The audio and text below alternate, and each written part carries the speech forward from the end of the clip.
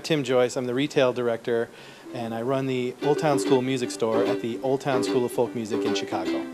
Another question a lot of people ask here in the store is, you know, they, they get to the point where they're ready to maybe play out or play at an open mic or do something like that, and then they ask the question about the pickup on the guitar. Should I buy a guitar with a pickup in it? Should I, you know, can I come back and have one put in? Should I put it in my you know, super starter guitar that I got from my grandpa in the 70s? You know, these are all questions that we get, and you have to sort of, again, same thing, evaluate what your goals are with that, and then go from there. If you know out of the gate that you want to be playing out, you might want to buy a guitar with a pickup already installed in it that has onboard electronics.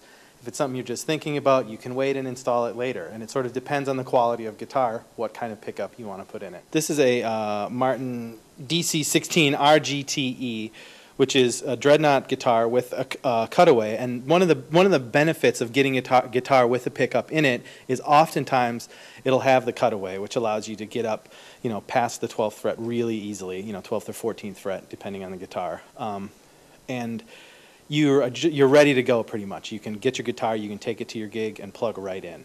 Um, there's a lot of differences in pickups. There's, you know, all kinds of different people make pickups. There's the Sunrise pickup, the Schertler pickup, Fishman makes pickups, you know, among many others.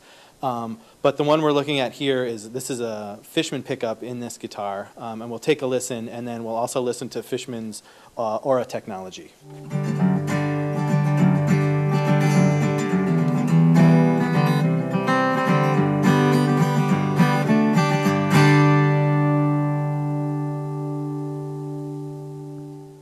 So that's this guitar with just, you know, just using the onboard pickup, um, and the EQ I think is just pretty flat. It's right in the middle. Um, and what we'll do now is, is listen, this is, you know, to start out, you've got a great sounding guitar here to begin with, and then you put a pickup in it, and it's going to sound, you know, equally as good.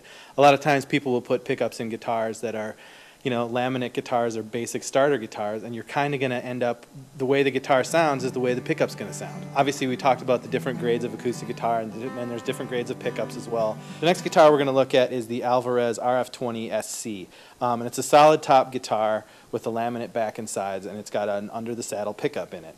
So we'll give that a listen, and you can, you can hear the difference.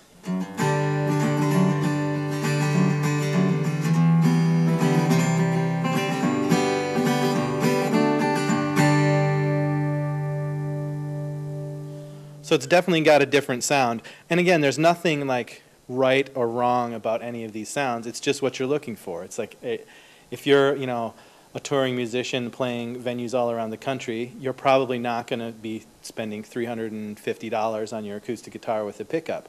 But if you're the person who's like just thinking like, I'd like to get into playing out or playing at an open mic or something, that's probably a good guitar for you.